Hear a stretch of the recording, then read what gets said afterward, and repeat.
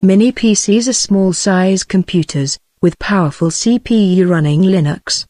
They are small enough to fit into portable devices like robots.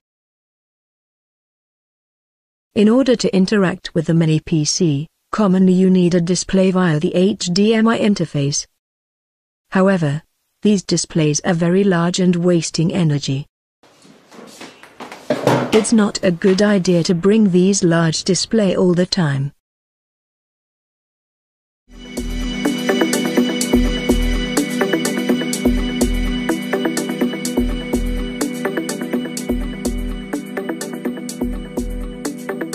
RoboPeak USB Display is an open source project designed by RoboPeak team.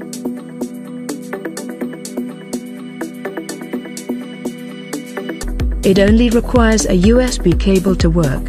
After connecting with a host system, it will be recognized as a standard display.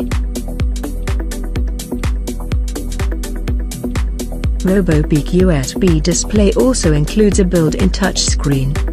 You can control your mini PC with the display directly.